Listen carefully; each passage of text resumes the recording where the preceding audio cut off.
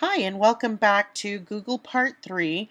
We are on video number 6 of the series and this is how to create the homework page. So we already know how to create a new page in Google Sites so I will go through this quickly. Instead of using the web page option though, you will want to drop down that, that option and choose the list option. It's still at top level and we click create. That's the only difference on this page. Now there are four options on creating your own lists. You can use action items, issue list, unit status, or create your own. We are going to use a create your own. Go ahead and click use template.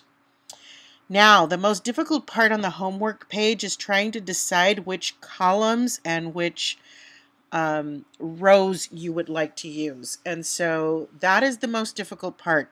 So I like to start with the date or day of the week. So you can decide how you want to make that work. I'm going to use the date. I'm going to add a column. And my next column will be history. Uh, let's choose American history since I've decided I'm going to use um, history for my content area.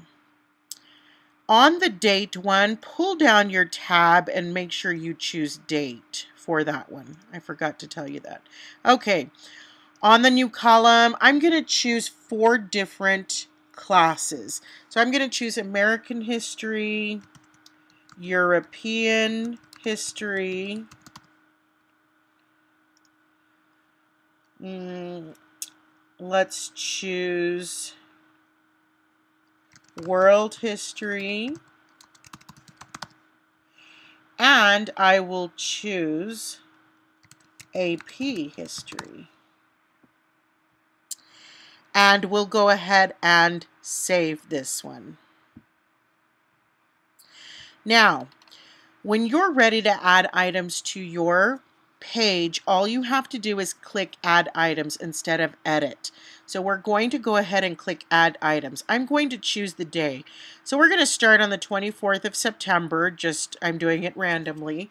And my American History students will have to read pages 55 through 126. My European History students will have to study for test number one. My world history students will create digital story and my AP history kids will create their web quest. And so you can go in and you can use caps or non-caps um, it doesn't really matter. I'm changing mine to caps. So that's what I want them to do for Monday. I hit save. So you'll notice that on Monday, September 24th, these are the items that they need to do. Then I can add another item, choose the date. Let's say we're on block schedule. Actually, I'm going to choose the 18th. I'm going, to, because I only chose five classes, I'm actually going to enter in something every day. The requirement is that you have a total of 20 items. And so if we have four classes, five days during the week, each day will need something. So you'll go in and you will type in other homework that they have. For each day of the week, they will line up and you are ready to do the last thing on this page, which if you notice, files and comments.